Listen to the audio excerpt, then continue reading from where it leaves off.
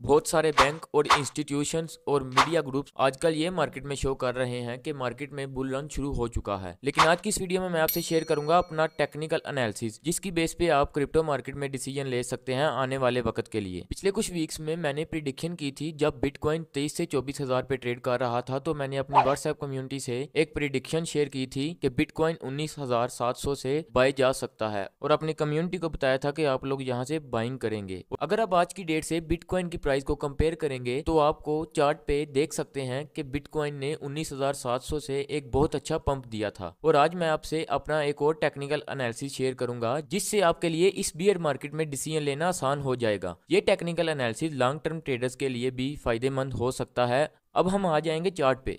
Chart पे मैंने ये कुछ इंपॉर्टेंट्स लेवल ड्रा किए हैं और एक मैंने रेड जोन ड्रा किया है। रेड जोन के बारे में बाद में बात करेंगे। पहले हम बाइंग जोन के बारे में बात कर लेते हैं। अगर बिटकॉइन रिट्रेस लेता है, इन जोन से आप एक्सपेक्ट कर सकते हैं कि बिटकॉइन बाय जाएगा और इसका फ़र्स्ट टारगेट बत्तीस हज़ार होगा और सेकेंड टारगेट छत्तीस हज़ार होगा। क्योंकि ये एक बियर मार्केट चल रही है और मेरे मुताबिक ये बिटकॉइन का रेड जोन है। यहाँ से मार्केट में एक क्रैश आ सकता है, लेकिन इसमें कई मंथ लग सकते हैं।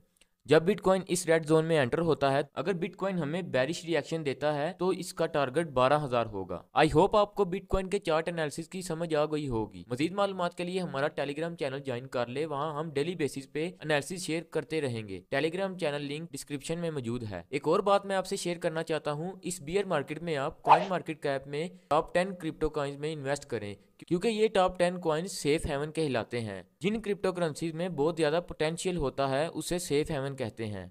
वीडियो के एंड में मैं आपसे एक क्वेश्चन पूछना चाहता हूँ। आप मुझे कमेंट सेक्शन में ज़रूर बताएँ कि आपको डेली बेस पे मार्केट एनालिसिस चाहिए वीकली बेस पे चाहिए या मंथली बेस पे चाहिए, ताकि मैं उस पर आपके लिए वीडियो बना सकूँ। वीडियो अच्छी लगी तो इसे लाइक और शेयर कर दें और हमारे चैनल रिच इन ट्रेडिंग को सब्सक्राइब कर लें, ताकि आने वाली वीडियो का नोटिफिकेशन आपको मिल जाए। अल्लाह हाफिज़।